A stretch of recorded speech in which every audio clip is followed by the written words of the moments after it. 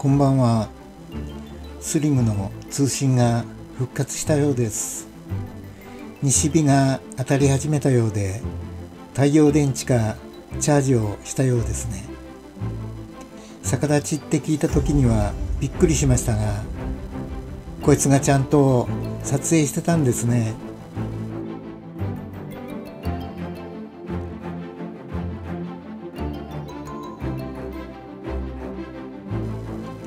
紛失口が脱落したんですよね。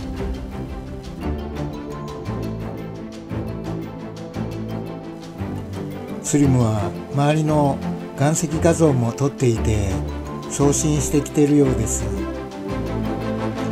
なんで犬の名前なのかよく分かりませんが月の岩石は地球よりも古いって聞きましたけど謎の解明につながれば良いですね。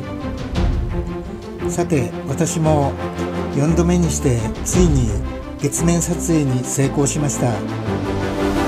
いやこんなに苦労するとは思いませんでした。難易度高いです。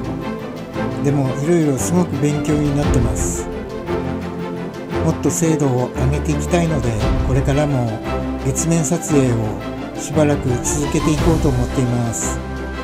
スリムもいるしね。まあ良い機材があればなんてことないんでしょうがスマホでどこまで撮れるかチャレンジしてみます。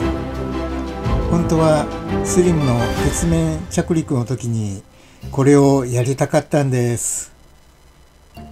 ではではまた次の動画でお会いしましょう。バイバイ。